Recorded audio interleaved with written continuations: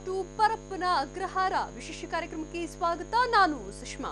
ಒಬ್ಬ fruit seller ಬಹುಕೋಟಿ ಹಗರಣದ ಕಿಂಗ್ ಪಿನ್ ಆಗಿತ್ತು ಹೇಗೆ? ಮುಂಬೈ ಜೈಲಲ್ಲಿ ಆತನಿಗಾದ ಜ್ಞಾನೋದಯ ಎಂಥದ್ದು? ಹೇಗಿತ್ತು ಗೊತ್ತಾ? ಬಹುಕೋಟಿ ಹಗರಣದ ಕಿಂಗ್ ಪಿನ್ನ ಬೆಚ್ಚಿ ಬೀಳಿಸೋ ಕರಾಳ ಜರ್ನಿ. ಇದೇ ಹೊತ್ತಿನ ವಿಶೇಷ ಖಾನಾ ಪುರಾಟು ಪರಪ್ಪನ ಅಗ್ರಹಾರ.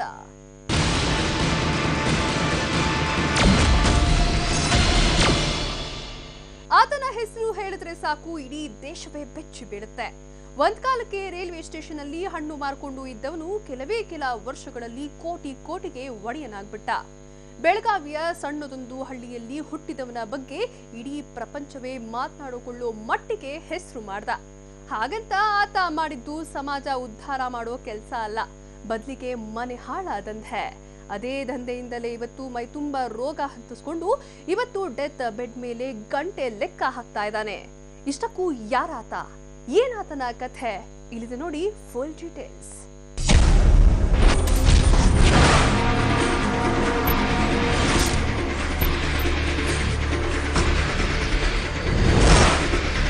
ಅಬ್ದುಲ್ ಕರೀಂ ಲಾಲಾ ತೆಲಗಿ. ಈ ಹೆಸರು ಕೇಳಿದ್ರೆ ಒಬ್ಬ ಅನಕ್ಷರಸ್ಥ ಕೂಡ ಓ ಅವನಾ ಸಾರ್ ಅಂತ ಉದ್ಗಾರ ತೆಗಿತಾನೆ ಯಾಕಂದ್ರೆ ಇಡೀ ದೇಶಾದ್ಯಂತ ಬಹುಕೋಟಿ ಹಗರಣದ ಹವಾ ಎಬ್ಬಿಸಿದ ಹೆಸರದು. ಬಹುಕೋಟಿ ಛಾಪಾಕಾಗದ ಹಗರಣದಲ್ಲಿ ಸೆರೆ ಸಿಕ್ಕಿ ಮೈ ಮೇಲೆ ಹಾಫ್ ಸೆಂಚುರಿಗೂ ಹೆಚ್ಚು ಕೇಸುಗಳನ್ನು ಹಾಕಿಸಿಕೊಂಡು ಕೋರ್ಟಿಂದ ಮೂವತ್ತು ವರ್ಷ ಜೈಲುವಾಸ ಮತ್ತು ಇನ್ನೂರು ಕೋಟಿಗೂ ಹೆಚ್ಚು ದಂಡ ಹಾಕಿಸಿಕೊಂಡ ಏಕೈಕ ಕ್ರಿಮಿನಲ್ಲು ಅಂದ್ರೆ ಬಹುಶಃ ತೆಲುಗಿ ಒಬ್ಬನೇ ಇರಬೇಕು. ಯಾರ ಹೆಸರು ಕೇಳಿದ್ರೆ ಇಡೀ ದೇಶವೇ ಬೆಚ್ಚಿ ಬೀಳುತ್ತೋ ಆತನ ಕರಾಳ ಜರ್ನಿ ಹೇಗಿತ್ತು ಗೊತ್ತಾ? ಒಂದು ಕಾಲಕ್ಕೆ ಆತನ ಹೆಸರು ಪೊಲೀಸರು ಸೇರಿದಂತೆ ಯಾರಂದ್ರೆ ಯಾರೊಬ್ಬರಿಗೂ ಗೊತ್ತಿರಲಿಲ್ಲ.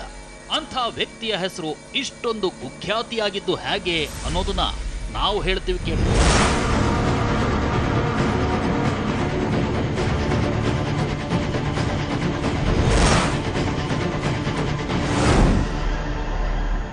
ಅದು ಈಕೆ ಹದಿನೇಳು ವರ್ಷದ ಹಿಂದಿನ ಮಾತು. ಅಂದ್ರೆ ದಿನಾಂಕ ಹತ್ತೊಂಬತ್ತು ಎರಡು ಎರಡು ಸಾವಿರ. ಬೆಂಗಳೂರಿನ ಮೆಜೆಸ್ಟಿಕ್ನಲ್ಲಿರೋ ಉಪ್ಪಾರ್ಪೇಟೆ ಪೊಲೀಸ್ ಸ್ಟೇಷನ್ಗೆ ಒಂದು ಫೋನ್ ಕಾಲ್ ಬರುತ್ತೆ. ಕಾಲ್ ರಿಸೀವ್ ಮಾಡಿದ ಅವತ್ತಿನ ಇನ್ಸ್ಪೆಕ್ಟರ್ ಮರಿಸ್ವಾಮಿ ಗೌಡ್ರಿಗೆ ಒಂದು ಮಾಹಿತಿ ಸಿಕ್ಕಿತ್ತು. ಸಂಜೆ ಆರು ಗಂಟೆ ಹೊತ್ತಿಗೆ ಕಪಾಲಿ ಥಿಯೇಟರ್ ಹತ್ರ ಇಬ್ಬರು ವ್ಯಕ್ತಿಗಳು ಬರ್ತಾರೆ. ಅವ್ರ ಹತ್ರ ಲಕ್ಷಾಂತರ ರೂಪಾಯಿ ಮೌಲ್ಯದ ಫೇಕ್ ಸ್ಟ್ಯಾಂಪ್ ಪೇಪರ್ಗಳಿವೆ ಅಂತ ಹೇಳಿದವರೇ ಫೋನ್ ಕಟ್ ಮಾಡಿದ್ರು. ಆತ ಆ ಇಬ್ಬರು ವ್ಯಕ್ತಿಗಳು ಬರೋ ಬೈಕ್ ನಂಬರ್ ಸಮೇತ ಮಾಹಿತಿ ಕೊಟ್ಟಿದ್ದ ಕೂಡಲೇ ಅಲರ್ಟ್ ಆದ ಇನ್ಸ್ಪೆಕ್ಟರ್ ಮರಿಸ್ವಾಮಿ ಗೌಡ್ರು ಮಫ್ತಿಯಲ್ಲಿ ಹೋಗಿ ಥಿಯೇಟರ್ ಹತ್ರ ನಿಂತ್ಕೊಂಡ್ರು. ಸಂಜೆ ಆರು ಹದಿನೈದು ಕರೆಕ್ಟ್ ಆಗಿ ಇಬ್ಬರು ವ್ಯಕ್ತಿಗಳು ಅದೇ ನಂಬರ್ನ ಬೈಕ್ನಲ್ಲಿ ಬಂದರು. ಅವ್ರು ಯಾರಿಗೋ ಕಾಯ್ತಾ ಇದ್ದಿದ್ದನ್ನ ಕಂಡು ಕೂಡಲೇ ಅವರಿಬ್ಬರನ್ನ ಪೊಲೀಸರು ಸುತ್ತುವರೆದು ವಶಕ್ಕೆ ಪಡೆದು ಸ್ಟೇಷನ್ ಕರ್ಕೊಂಡು ಬರ್ತಾರೆ.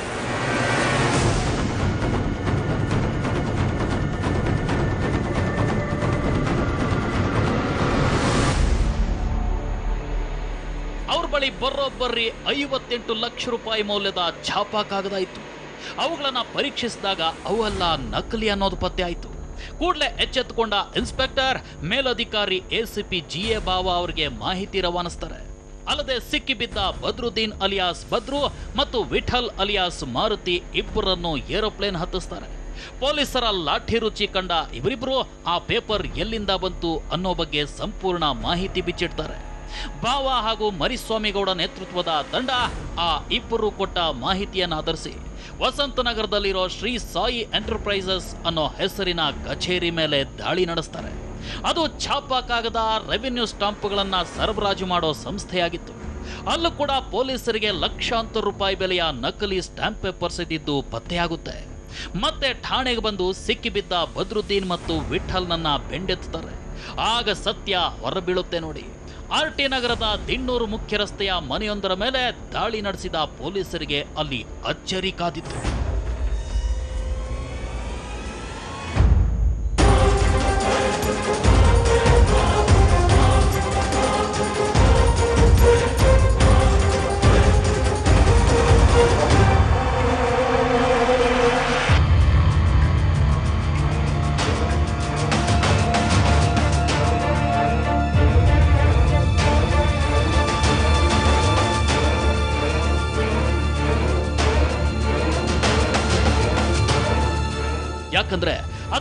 ಬದ್ರುದ್ದೀನ್ನ ಮನೆ ಕಮ್ ಗೋಡೌನ್ ಆಗಿತ್ತು ಅಲ್ಲಿ ಬರೋಬ್ಬರಿ ಹತ್ತು ಕೋಟಿ ಮೌಲ್ಯದ ಸ್ಟಾಂಪ್ ಪೇಪರ್ಸು ಮತ್ತು ಮೂವತ್ತೈದು ಲಕ್ಷ ರೂಪಾಯಿ ಕಂತೆ ಕಂತೆ ನೋಟುಗಳು ಪತ್ತೆಯಾದವು. ಈ ಬಗ್ಗೆ ತನಿಖೆ ಚುರುಕುಗೊಳಿಸಿದ ಪೊಲೀಸರು ಈ ದಂಧೆಯಲ್ಲಿ ನಿರತರಾಗಿದ್ದ ಹತ್ತು ಜನರನ್ನ ಬಂಧಿಸ್ತಾರೆ.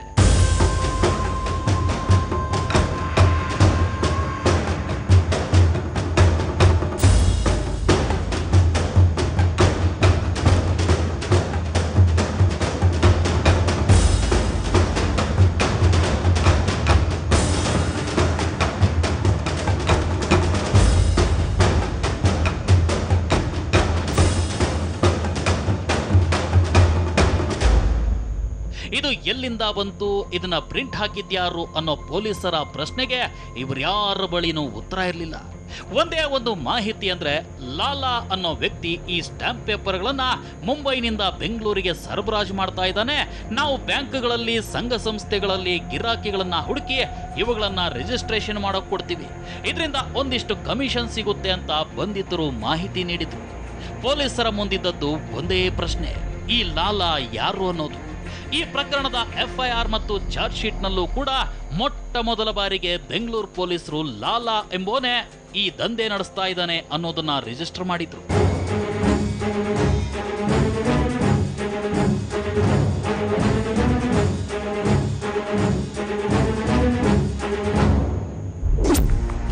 ಇದಾಗಿ ಕೆಲ ದಿನಗಳಲ್ಲೇ ನಗರದ ಬೇರೆ ಬೇರೆ ಪೊಲೀಸ್ ಠಾಣೆಗಳಲ್ಲೂ ನಕಲಿ ಛಾಪಾ ಕಾಗದಗಳ ಪ್ರಕರಣಗಳು ದಾಖಲಾಗತೊಡಗಿದ್ವು. ಇಷ್ಟಕ್ಕೆ ಬೆಂಗಳೂರು ಪೊಲೀಸರು ಸುಮ್ಮನೆ ಕೂರಲಿಲ್ಲ.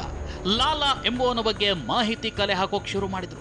ಪೊಲೀಸರಿಗೆ ಲಾಲಾ, ಅಬ್ದುಲ್ ಕರೀಂ, ತೆಲಗಿ, ಹೀಗೆ ನಾನಾ ಹೆಸರುಗಳು ಕೇಳಿಬಂದವು ಇವೆಲ್ಲ ಒಬ್ಬನ ಹೆಸರುಗಳೋ ಅಥವಾ ಬೇರೆ ಬೇರೆನೋ ಅನ್ನೋ ಗೊಂದಲ ಕೂಡ ಪೊಲೀಸರನ್ನ ಕಾಡೋಕ್ ಶುರುವಾಗಿತ್ತು. ಕೊನೆಗೆ ಪೊಲೀಸರಿಗೆ ಸಿಕ್ಕಿದ್ದು ಒಂದೇ ಒಂದು ಫೋಟೋ. ಅದು ಕೂಡ ಸೈಡ್ ಫೋಸ್ ಅಲ್ಲಿರೋದು ಅದನ್ನಿಟ್ಕೊಂಡು ಲಾಲಾ ಬೇಟೆಗೆ ಸಿದ್ಧತೆ ನಡೆಸಿದ್ರು.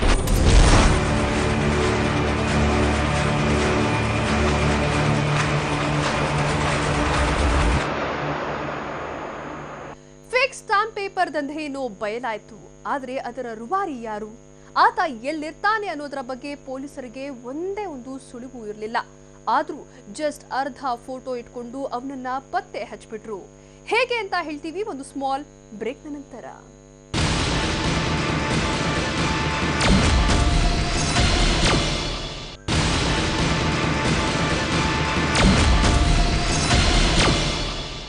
ಇವತ್ತು ಬಹುಕೋಟಿ ನಕಲಿ ಚಾಪಾ ಕಾಗದ ಹಗರಣದ ಕಿಂಗ್ ಪಿನ್ ಯಾರು ಅಂತ ಕೇಳಿದ್ರೆ ಯಾರ್ ಬೇಕಾದ್ರೂ ಥರ್ಟ್ ಅಂತ ಅಬ್ದುಲ್ ಕರೀಂ ಲಾಲಾ ತೆಲಿಗೆ ಅಂತ ಹೇಳ್ಬಿಡ್ತಾರೆ. ಆದ್ರೆ ಹೀಗೆ ಹದಿನಾರು ವರ್ಷದ ಹಿಂದೆ ಆತ ಯಾರು ಅಂತಾನೆ ಯಾರಿಗೂ ಗೊತ್ತಿರಲಿಲ್ಲ. ಜಸ್ಟ್ ಲಾಲಾ ಅನ್ನೋ ಒಂದು ಹೆಸರು ಮತ್ತು ಸೈಟ್ ಪೋಸ್ ಇರೋ ಒಂದು ಅಸ್ಪಷ್ಟ ಫೋಟೋ ಬಿಟ್ರೆ ಬೇರೇನೂ ಇರಲಿಲ್ಲ ಪೊಲೀಸರ ಹತ್ರ. ಆದ್ರೂ ಅಷ್ಟರಲ್ಲೇ ತೆಲಗಿಯನ್ನ ದೂರದ ಅಜ್ಮೀರ್ ದರ್ಗಾದಲ್ಲಿ ಸೆರೆ ಹಿಡಿದ ಪರಿ ಇದೆಯಲ್ಲ ಅದು ಮಾತ್ರ ತುಂಬಾ ರೋಚಕ.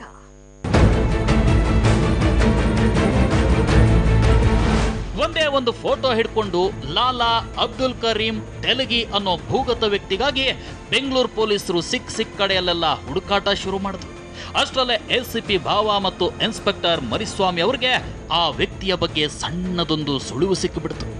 ಅದೇನು ಅಂದ್ರೆ, ಆ ವ್ಯಕ್ತಿ ನವೆಂಬರ್ ಎಂಟನೇ ತಾರೀಕು ಐವತ್ತರಿಂದ ಅರವತ್ತು ಜನರ ಜೊತೆ ರಾಜಸ್ಥಾನದಲ್ಲಿರೋ ಅಜ್ಮೀರ್ನಲ್ಲಿರೋ ದರ್ಗಾಗೆ ಭೇಟಿ ಕೊಡ್ತಾನೆ ಅನ್ನೋ ಮಾಹಿತಿ.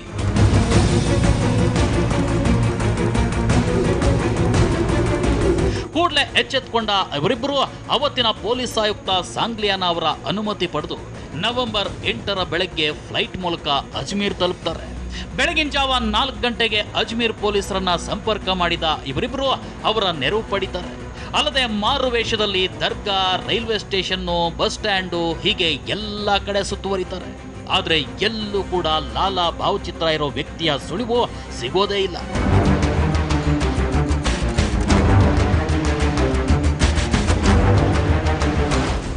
ದಿನವೆಲ್ಲ ಲಾಲಾಗಾಗಿ ಸುತ್ತಿ ಸುತ್ತಿ ಸುಸ್ತಾದ ಅಧಿಕಾರಿಗಳು ಸಂಜೆ ಸಾಂಗ್ಲಿಯಾನ ಅವರಿಗೆ ಫೋನ್ ಮಾಡಿ ಆ ದಿನದ ರಿಪೋರ್ಟ್ ಕೊಡ್ತಾರೆ. ಆ ಕಡೆಯಿಂದ ವಾಪಸ್ ಬನ್ನಿ ಅಂತ ಸೂಚನೆ ಬರುತ್ತೆ. ಹೇಗೂ ಬೆಂಗಳೂರಿಗೆ ಹೋಗೋದು ರಾತ್ರಿ. ಅಷ್ಟರೊಳಗೆ ಅಜ್ಮೀರ್ನ ಪವಿತ್ರ ದರ್ಗಾಗೆ ಭೇಟಿ ಕೊಡೋಣ ಅಂತ ಈ ಇಬ್ಬರು ಪೊಲೀಸ್ ಅಧಿಕಾರಿಗಳು ದರ್ಗಾಗೆ ಭೇಟಿ ಕೊಡ್ತಾರೆ. ದರ್ಗಾಗೆ ಪೂಜೆ ಸಲ್ಲಿಸಿದ ಅಧಿಕಾರಿಗಳು ಇನ್ನೇನು ಹೊರಗೆ ಹೋಗೋಕೆ ಅಂತ ಬಾಗಿಲು ಬಳಿ ಬರ್ತಾರೆ. ಅಷ್ಟರೊಳಗೆ ಒಬ್ಬ ವ್ಯಕ್ತಿ ದರ್ಗಾದ ಹಿಂಬದಿ ಬಾಗಿಲಿಂದ ಪ್ರವೇಶ ಮಾಡ್ತಾ ಇದ್ದ. ದೂರದಿಂದಲೇ ಆತನನ್ನು ಗಮನಿಸಿದ ಅಧಿಕಾರಿಗಳು ಅನುಮಾನ ಪಡ್ತಾರೆ. ಕೂಡಲೇ ತಮ್ಮ ಜೇಬಲ್ಲಿದ್ದ ಫೋಟೋ ತೆಗೆದು ನೋಡ್ತಾರೆ. ಆಗ ಅಧಿಕಾರಿಗಳಿಗೆ ಅನುಮಾನ ಹೆಚ್ಚಾಗುತ್ತೆ. ಹೀಗಾಗಿ ಆತ ದರ್ಗಾದಿಂದ ಹೊರಬರೋವರೆಗೂ ಕಾಯೋಣ ಅನ್ನೋ ನಿರ್ಧಾರಕ್ಕೆ ಬಂದ ಪೊಲೀಸರು ಅಲ್ಲೇ ಕಾಯ್ತಾ ನಿಂತ್ಕೊಳ್ತಾರೆ. ದರ್ಗಾದ ಹಿಂಬಾಗಿಲಿನಿಂದ ಬಂದ ವ್ಯಕ್ತಿ ದರ್ಗಾದಲ್ಲಿದ್ದ ಕೆಲವರ ಜೊತೆ ಚರ್ಚೆ ನಡೆಸಿದ್ದ. ಅರ್ಧ ಗಂಟೆ ನಂತರ ಆತ ಅದೇ ಬಾಗಿಲಿಂದ ಹೊರಗೆ ಬರ್ತಾನೆ. ಆತನ ಜೊತೆ ಹತ್ತರಿಂದ ಹದಿನೈದು ಜನ ಕೂಡ ಇರ್ತಾರೆ. ಎಲ್ಲ ಜೊತೆ ಜೊತೆಯಲ್ಲೇ ನಡ್ಕೊಂಡು ಬರ್ತಾ ಇದ್ರು. ಈ ವೇಳೆ ಅಧಿಕಾರಿಗಳು ಹಾಗೆ ನೋಡೋಣ ಅಂತ ಒಮ್ಮೆ ಲಾಲಾ ಅಂತ ಕೂಗ್ತಾರೆ. ಅದನ್ನು ಕೇಳಿಸ್ಕೊಂಡ ಆತ ಕೂಡಲೇ ಹಿಂದಕ್ಕೆ ತಿರುಗಿ ನೋಡ್ತಾನೆ.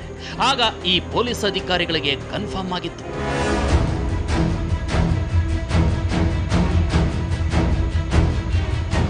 ಮಾಡದೆ ಓಡಿದ ಅಧಿಕಾರಿಗಳು ಆತನನ್ನ ಹಿಡಿದು ರಿವಾಲ್ವರ್ ತೋರಿಸ್ತಾರೆ. ನಾವು ಪೊಲೀಸರು ಅಂತ ಹೇಳಿ ದರ್ಗಾದಿಂದ ಆತನನ್ನ ಹೊರಗೆಳ ತರ್ತಾರೆ ಆಗಲೇ ಪೊಲೀಸರಿಗೆ ತಿಳಿದಿದ್ದು ಲಾಲಾ ಬೇರೆ ಅಲ್ಲ, ತೆಲುಗಿ ಬೇರೆ ಅಲ್ಲ, ಅಬ್ದುಲ್ ಕರೀಂ ಬೇರೆ ಅಲ್ಲ ಅಂತ. ಅವರೆಲ್ಲ ಒಬ್ಬನೇ. ಅವನೇ ಈ ಅಬ್ದುಲ್ ಕರೀಂ ಲಾಲಾ ತೆಲಗಿ.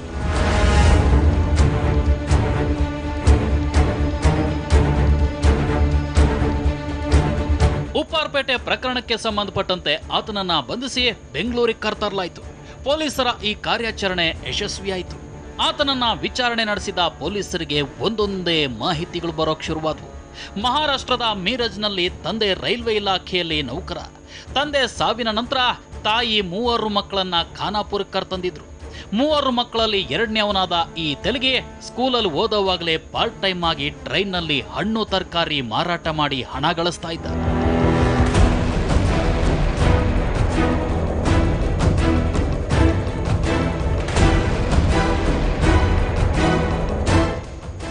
ಬಿಕಾಂ ಪದವಿ ನಂತರ ಆತ ಮುಂಬೈಗೆ ತೆರಳಿ ಅಲ್ಲಿ ಸೇಲ್ಸ್ ಎಕ್ಸಿಕ್ಯೂಟಿವ್ ಆಗಿ ಕೆಲವು ದಿನಗಳ ಕಾಲ ಕೆಲಸ ಮಾಡಿದ್ದ. ಅಲ್ಲಿಂದ ತನ್ನ ಸ್ನೇಹಿತನ ಜೊತೆ ಸೌದಿಗೆ ಹೋದ. ಸೌದಿಯಲ್ಲಿ ಕೆಲವು ವರ್ಷಗಳ ಕಾಲ ಕೆಲಸ ಮಾಡಿ ಮತ್ತೆ ವಾಪಸ್ ಮುಂಬೈಗೆ ಬಂದ. ಅಲ್ಲಿಂದ ತನ್ನದೇ ಆದ ಬಿಸ್ನೆಸ್ ಶುರು ಮಾಡಿದ ತೆಲಗೆ ಸೌದಿಗೆ ಹೋಗೋ ಹುಡುಗರನ್ನ ಕಳಿಸೋದಕ್ಕೆ ಒಂದು ಕನ್ಸಲ್ಟೆನ್ಸಿ ಶುರು ಮಾಡಿಕೊಂಡ. ಅಲ್ಲಿಂದಾನೇ ನೋಡಿ ಆತ ಸುಲಭವಾಗಿ ಹಣ ಗಳಿಸೋ ದಾರಿ ಕಂಡುಕೊಂಡಿದ್ದು. ಸೌದಿ ಕಳಿಸ್ತೀನಿ ಅಂತ ಅದೆಷ್ಟೋ ಜನರಿಂದ ಲಕ್ಷ ಲಕ್ಷ ಹಣ ಸುಲಿಗೆ ಮಾಡಿ ಕೈ ಎತ್ತು ಬಿಟ್ಟ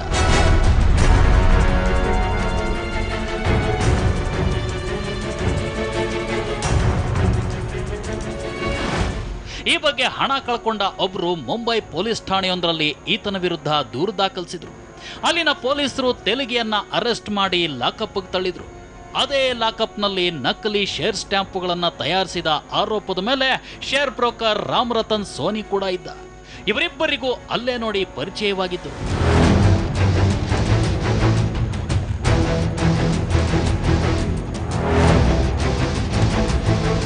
ತೆಲುಗಿಗೆ ರಾಮ್ ರತನ್ ಸೋನಿಯಿಂದ ಸಾಕಷ್ಟು ಐಡಿಯಾಗಳು ಸಿಕ್ಕಿದ್ವು. ಚಿಕ್ಕ ಪುಟ್ಟ ವಂಚನೆ ಮಾಡಿದ್ರೆ ಸುಲಭವಾಗಿ ಸಿಕ್ಕಿಬಿಡ್ತೀನಿ. ಮಾಡಿದ್ರೆ ದೊಡ್ಡ ವ್ಯವಹಾರನೇ ಮಾಡಬೇಕು ಅನ್ನೋ ನಿರ್ಧಾರಕ್ಕೆ ಬಂದ ತೆಲುಗಿಯೇ ಲಕ್ಷ ಲಕ್ಷಕ್ಕೆ ಕೈ ಹಾಕೋದು ಬಿಟ್ಟು ಕೋಟಿಯ ಬಗ್ಗೆ ಆಲೋಚನೆ ಮಾಡಕ್ ಶುರು ಮಾಡ್ದ. ನಕಲಿ ನೋಟು ತಯಾರಿಸಿದ್ರೆ ಅದು ಚಲಾವಣೆಯಲ್ಲಿರುತ್ತೆ. ಯಾವಾಗ ಬೇಕಾದರೂ ಸಿಕ್ಕಾಕೊಳ್ಬಹುದು. ಆದರೆ ಸ್ಟ್ಯಾಂಪ್ ಪೇಪರ್ಗಳನ್ನು ನಕಲಿ ಮಾಡಿದ್ರೆ ಅದು ಒಮ್ಮೆ ಮಾತ್ರ ಚಲಾವಣೆಗೆ ಬರುತ್ತೆ. ನಂತರ ಬೀರು ಸೇರ್ಕೊಂಡ್ಬಿಡುತ್ತೆ. ಜೊತೆಗೆ ನೋಟನ್ನ ಕೇವಲ ಸಾವಿರ ರೂಪಾಯಿವರೆಗೂ ಮಾತ್ರ ನಕಲಿ ಮಾಡಬಹುದು. ಆದರೆ ಸ್ಟ್ಯಾಂಪ್ ಪೇಪರ್ಗಳನ್ನು ಹತ್ತರಿಂದ ಇಪ್ಪತ್ತೈದು ಸಾವಿರದವರೆಗೂ ಪ್ರಿಂಟ್ ಮಾಡಬಹುದು. ಅಲ್ಲದೆ ನೋಟಿನಂತೆ ಇದಕ್ಕಂಥ ಭದ್ರತೆ ಇರೋದಿಲ್ಲ ಅನ್ನೋದನ್ನ ಸೋನಿ ತಿಳಿಸಿದ್ದ. ಸೋನಿಯ ಮಾತನ್ನ ಕೇಳಿದ ತೆಲುಗಿಗೆ ಜೈಲಲ್ಲೇ ಜ್ಞಾನೋದಯವಾಗಿಬಿಡ್ತು.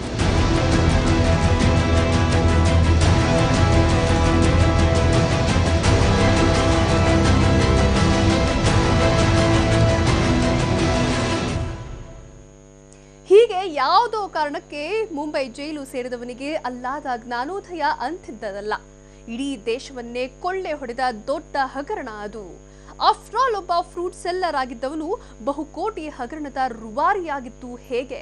ಹೇಳ್ತೀವಿ ಮತ್ತೊಂದು ಸ್ಮಾಲ್ ಬ್ರೇಕ್ನ ನಂತರ.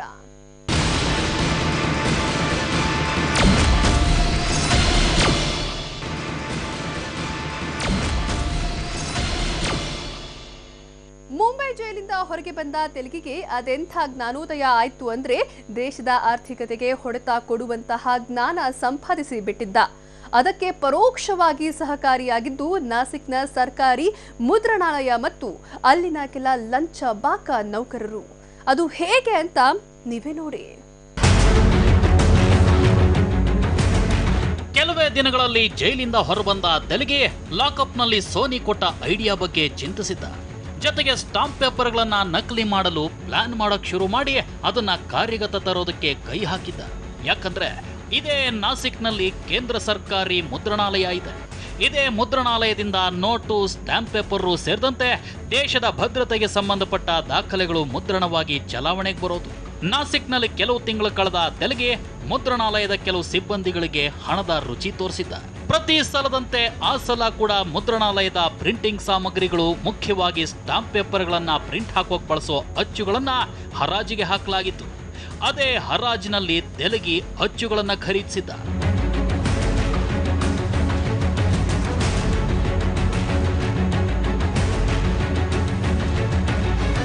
ತೆಲಗಿಯ ಹಣದ ರುಚಿಗೆ ಹರಾಜಿಗೆ ಮುಂಚೆನೆ ಅಚ್ಚುಗಳ ಮೇಲಿರೋ ದಾಖಲೆಗಳನ್ನ ಮುದ್ರಣಾಲಯದ ಸಿಬ್ಬಂದಿ ನಾಶಪಡಿಸಿರಲಿಲ್ಲ. ಅಚ್ಚುಗಳನ್ನ ಖರೀದಿಸಿ ತೆಲುಗಿ ಯಶಸ್ವಿಯಾದ. ನಂತರ ಮುದ್ರಣಕ್ಕೆ ಬಳಸೋ ಪೇಪರ್ಗಳನ್ನು ಖರೀದಿ ಮಾಡೋ ವಿದೇಶಿ ಸಂಸ್ಥೆಯಿಂದಲೇ ಆತ ಕೂಡ ಅಲ್ಲೇ ಪೇಪರ್ಗಳನ್ನು ಖರೀದಿಸಿದ್ದ.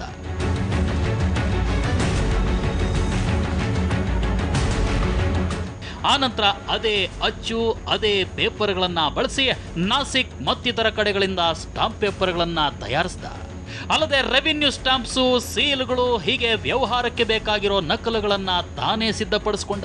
ಮುದ್ರಣವಾದ ನಕಲಿ ಸ್ಟಾಂಪ್ ಪೇಪರ್ಗಳ ಸರಬರಾಜಿಗೆ ಮುನ್ನೂರಕ್ಕೂ ಹೆಚ್ಚು ಸಿಬ್ಬಂದಿಯನ್ನ ದೇಶದ ಎಲ್ಲಾ ಕಡೆ ನೇಮಿಸಿಕೊಂಡ.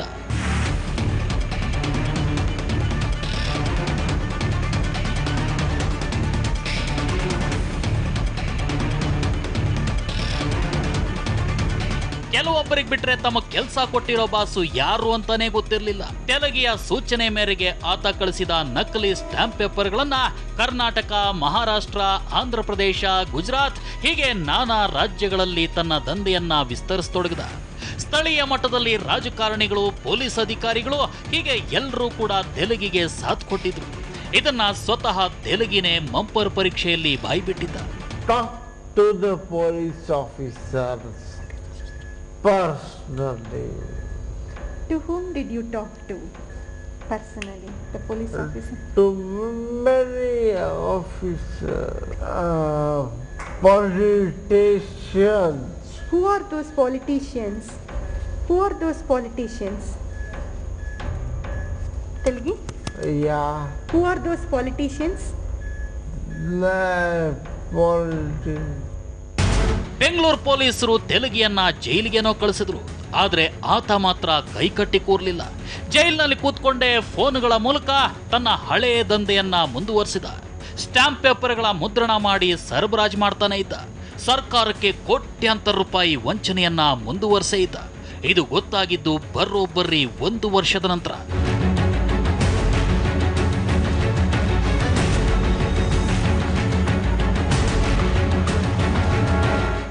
ಬಹುಕೋಟಿ ನಕಲಿ ಛಾಪಾ ಕಾಗದ ಹಗರಣದ ತನಿಖೆ ನಡೆಸ್ತಾ ಇದ್ದ ರಾಜ್ಯ ಸರ್ಕಾರದ ಸ್ಟ್ಯಾಂಪ್ ಬೀಟ್ ತಂಡ ಕೊನೆಗೂ ತೆಲಿಗೆ ಮಾಡ್ತಾ ಇದ್ದ ಅವ್ಯವಹಾರವನ್ನ ಪತ್ತೆ ಹಚ್ಚಿತು ಸಾವಿರದ ನಾನ್ನೂರು ಗಂಟೆಗಳ ಕಾಲ ಜೈಲಿನೊಳಗಿಂದ ತೆಲಿಗೆ ಮೊಬೈಲ್ನಲ್ಲಿ ಮಾತನಾಡಿದ್ದನ್ನ ಈ ಅಧಿಕಾರಿಗಳು ಟ್ರ್ಯಾಪ್ ಮಾಡಿದ್ರು. ಇದೊಂಥರ ತನಿಖಾಧಿಕಾರಿಗಳಿಗೆ ಅನುಕೂಲವೇ ಆಯಿತು. ತಕ್ಷಣ ಆತ ವ್ಯವಹಾರ ನಡೆಸ್ತಾ ಇದ್ದ ಸ್ಥಳಗಳ ಮೇಲೆ ದಾಳಿ ನಡೆಸಿ ಈ ದಂಧೆಯಲ್ಲಿ ಭಾಗಿಯಾಗಿದ್ದವರನ್ನೆಲ್ಲ ಅರೆಸ್ಟ್ ಮಾಡಿದ್ರು.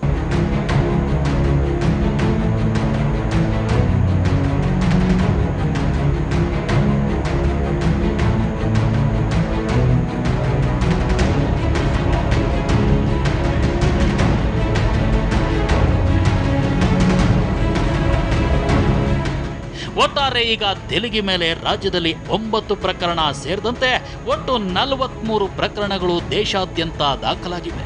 ವಿಚಾರಣೆ ನಡೆಸಿರೋ ವಿಶೇಷ ನ್ಯಾಯಾಲಯ ತೆಲುಗಿಗೆ ಮೂವತ್ತು ವರ್ಷ ಕಠಿಣ ಜೈಲು ಶಿಕ್ಷೆ ವಿಧಿಸಿ ಇನ್ನೂರೆರಡು ಕೋಟಿ ದಂಡ ಕಟ್ಟುವಂತೆ ಆದೇಶ ಮಾಡಿತ್ತು. ಒಟ್ಟು ಜೈಲು ಶಿಕ್ಷೆಯಲ್ಲಿ ಅದಾಗಲೇ ಹನ್ನೊಂದು ವರ್ಷ ಜೈಲುವಾಸ ಕಳೆದಿದೆ. ಬಂದಿಖಾನೆಗಳ ಮಾಜಿ ಐಜಿ ಡಿ ರೂಪ ಪರಪ್ಪನಗ್ರಹಾರ ಜೈಲಿಗೆ ಭೇಟಿ ಕೊಟ್ಟಾಗ ವಿಐಪಿ ಟ್ರೀಟ್ಮೆಂಟ್ ಪಡೀತಿರೋ ಬಗ್ಗೆ ಶಶಿಕಲಾ ಜೊತೆ ತೆಲುಗಿ ಕೂಡ ಸುದ್ದಿಯಾಗಿದ್ದ. ಆದರೆ ಆತ ಏಡ್ಸು ಸೇರಿದಂತೆ ಬಹು ಅಂಗಾಂಗ ವೈಫಲ್ಯದಂತ ಮಾರಕ ಕಾಯಿಲೆಗಳಿಂದ ಬಳಲ್ತಾ ಇರೋದ್ರಿಂದ ಅಧಿಕೃತವಾಗಿ ಆತನಿಗೆ ಆ ಸೌಲಭ್ಯ ಕಲ್ಪಿಸಲಾಗಿತ್ತು.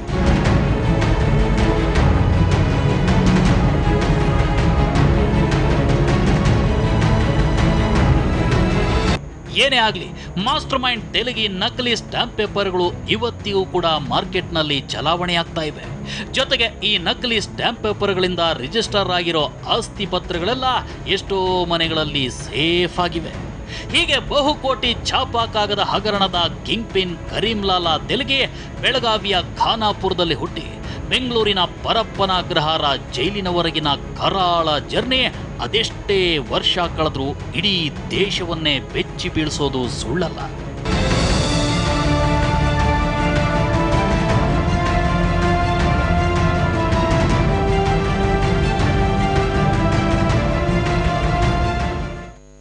ನೋಡಿದ್ರಲ್ಲ, ಖಾನಾಪುರ ಟು ಪರಪ್ಪನ ಅಗ್ರಹಾರ ಜರ್ನಿ ಹೇಗಿತ್ತು ಅಂತ? ಇದೇ ಹೊತ್ತಿನ ವಿಶೇಷ, ನಿರಂತರ ಸುದ್ದಿಗಾಗಿ ನೋಡ್ತಾ ಇರಿ ಟಿವಿ ನೈನ್.